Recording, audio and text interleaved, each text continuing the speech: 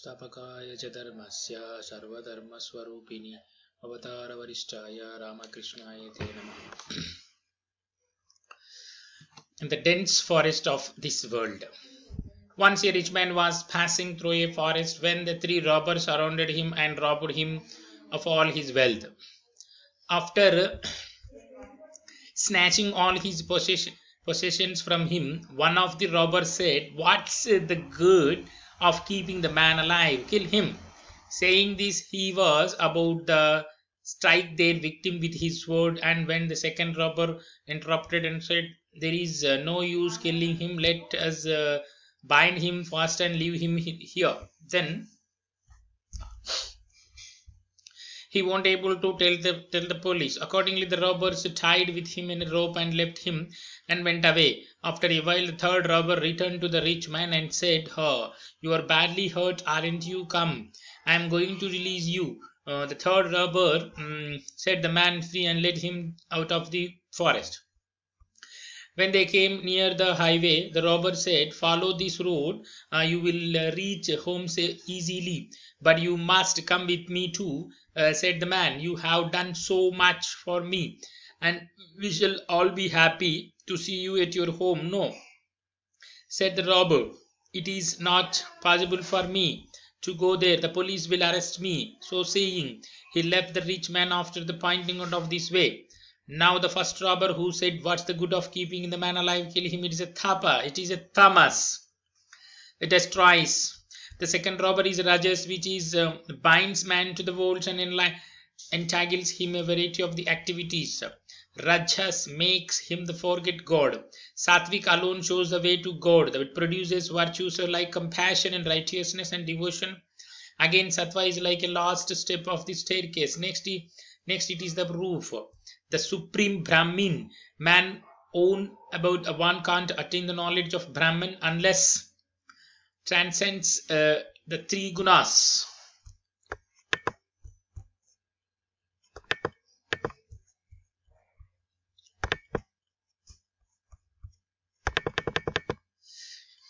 The nature of the world. Once they brought a bulk here in the Dakshineshwar. I saw one day that he had tied he has tied it with a rope and garden so that it might graze there. I asked him, Hriday, why do you tie the calf there, uh, calf there every day? And uncle, he said, I am going to send this calf uh, to our village, Kamarpur. When it grows strong, I shall yoke it to plough. As soon as I heard these words, I was stunned to think how inscrutable in the play of the divine Maya. Kamarpuran said, and she and see, Sihor are the far away from the Cal- Calcutta. This poor calf must go all, all that way. Then it will grow, and the length it will be yoked into the plough. This is the indeed the world.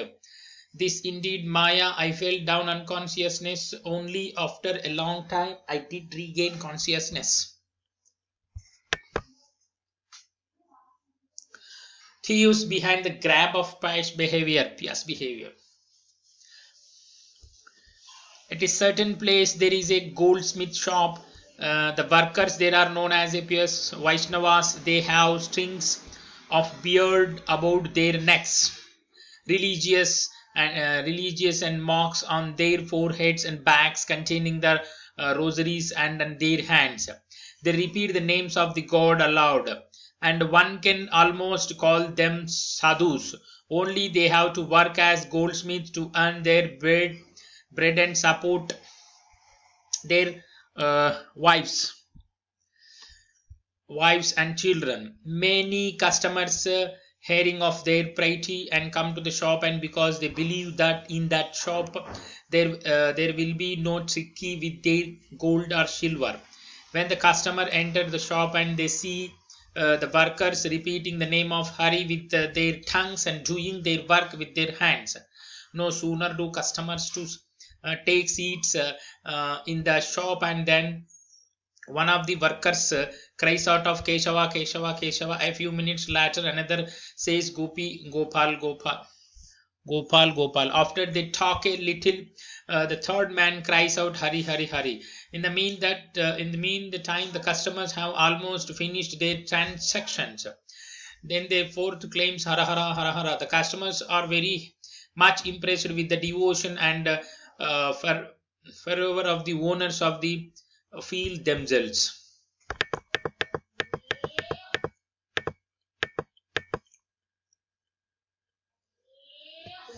themselves are quite secure in handing them money. They are sure they won't be cheated.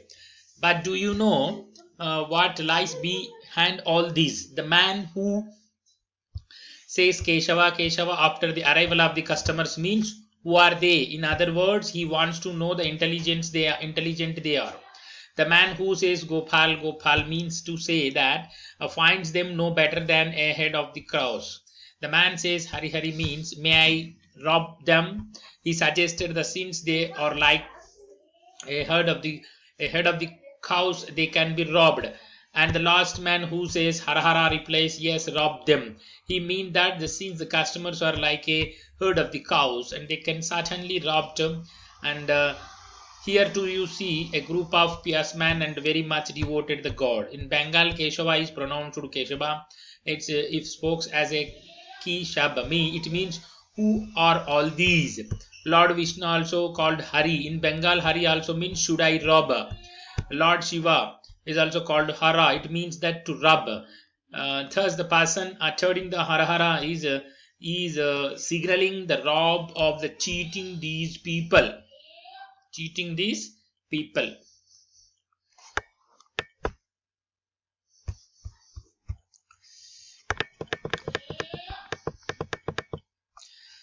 souls caught in the net. Men be divided into four classes. Men be divided into four classes. Those bound by the fet uh, fetters of the world, the seekers after the liberation, the liberated and the ever free. Among the ever free, we may count the sages like Narada. They live in the world of for the good of the others, to teach men to teach men spiritual truth. Those in bondage are sunk in world line uh, worldliness and forgetful of the God. Not even by mistake do they think of God. The seekers after liberation want to free themselves from the attachment to the world. Some of them succeed and others do not. The liberated souls such as the sadhus, mahatmas are not en entangled in the world in women and gold. Their minds are free from the worldliness. Besides, they always meditate in the lotus feet of the God.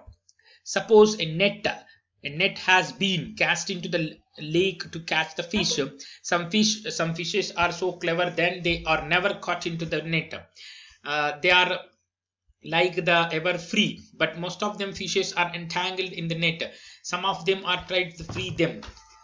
Uh, free them.